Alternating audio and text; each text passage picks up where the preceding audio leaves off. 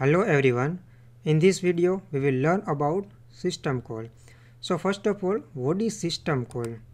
System call is nothing but an interface between an operating system and a user program or we can say it is an interface between operating system and a application program. Let's take example. Suppose we are having application program or a user program that is application this one is kernel or we can say operating system. And these are the different services that is provided by this operating system. Now this application program is always runs in user mode.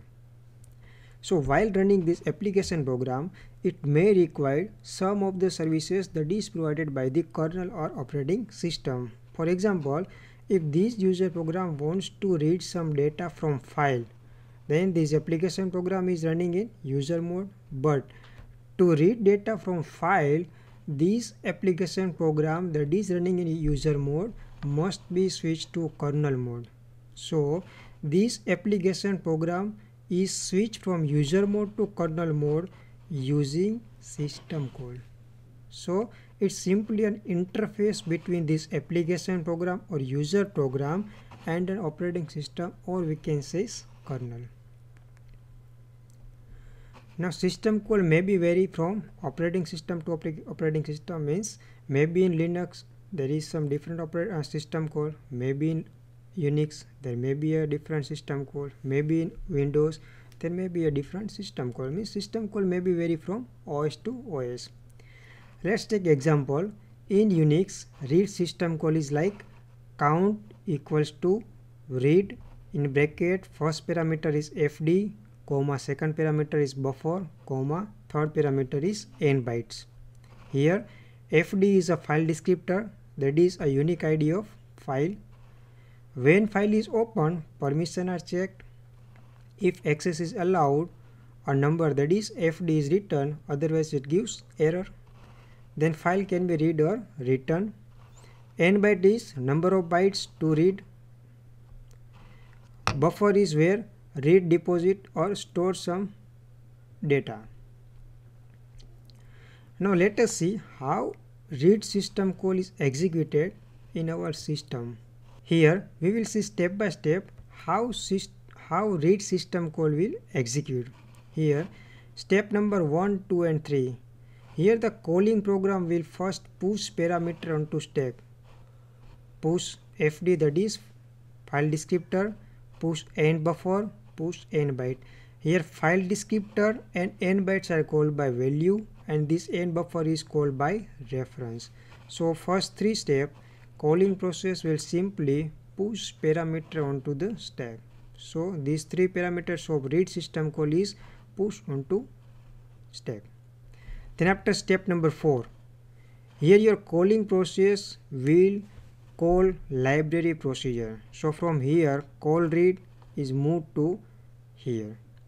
Step number 5 it will simply put a code for reading into the register from where that code is to be read. Then after step number 6 here this portion is in user mode means this program is right now running in user mode.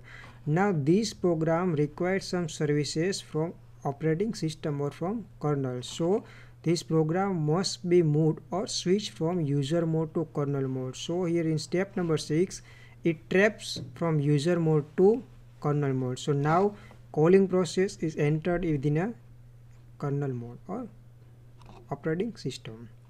Again this calling process is entered in dispatch. Again in dispatch it will find out a particular system call handler. So particular system call handler is will find out and will execute that process by system call handler. Once system call handler will complete its execution again your cursor or your program is moved from kernel mode to user mode. So again here step number 9 it again moves from kernel mode to user mode that is return to caller. Now once it will return into user mode again in step number 10 to 11 it will increment the value of sp so in such a way from step number 1 to step number 11 read system call we execute. In this system call here this calling process is switched from user mode to kernel mode in step number 6 that is known as system call that is the interface between this user mode and this kernel mode is system call now let us see different types of system calls.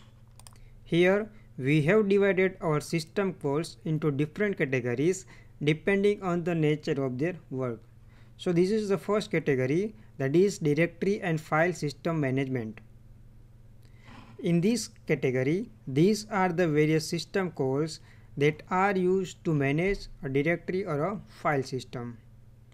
So, in this video, I will just explain the important system calls to you. So, first system call is mkdir. This system call that is make directory. This system call is used to create a new directory. Second system call is rmdir that is remove directory. This system call is used to remove an empty directory. Then after link. This system call is used to link a file into another file. Means here it will create a new entry that is name 2 which points to name 1 means this right hand side parameter is created and that links to left hand side parameter. Third one is unlink. That is opposite to link that will remove one directory entry. Then after mount. This system call is used to mount a file system and opposite to mount is unmount. This system call is used to unmount a file system second category is miscellaneous in which first one is chdir that is change directory this system call is used to change the working directory then after chmod that is change mode. This system call is used to change a file's protection bit. Then after kill, this system call is used to kill any process. The next process management. These all are the system calls that are used for a process management. So first one is fork. This system call is used to create a child process that is identical to a parent process. Second one is wait PID. This system call is used to wait for a child to terminate its execution. Then after EXECVE, this system call will replace a parent's core image into the system. And last one is exit that we terminate the process execution and return the status. So these are the sum of the system calls that are related to a process management. Next one is file management. These are the system calls that are related to a file management. First one is open to open a file for reading or writing or for both purpose. Second one is close.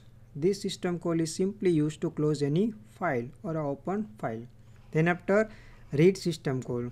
This system call is used to read the data from a file into a buffer. Here buffer is nothing but a area that stores data temporary. This buffer is maybe in memory or maybe in some storage device. Then after write. This system call is used to write data from buffer to a file. Then after position is equal to lseek that is lseek command. This lseek system call is used to move the file pointer to a specified position. And last one is stat that gives or gets a file status information. This system call is simply used to get the information about any file. So these are the various types of system calls in our Unix. It may be possible that some of the system calls are there in Windows also some of them are not available or not present in windows thank you very much